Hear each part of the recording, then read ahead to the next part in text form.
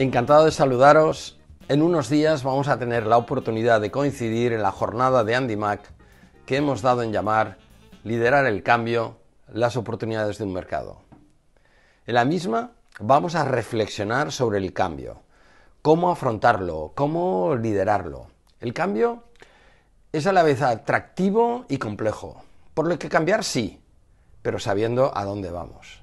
El progreso significa cambio va de entender el entorno, de entendernos a nosotros mismos, del valor de los intangibles, de conocer bien nuestras capacidades.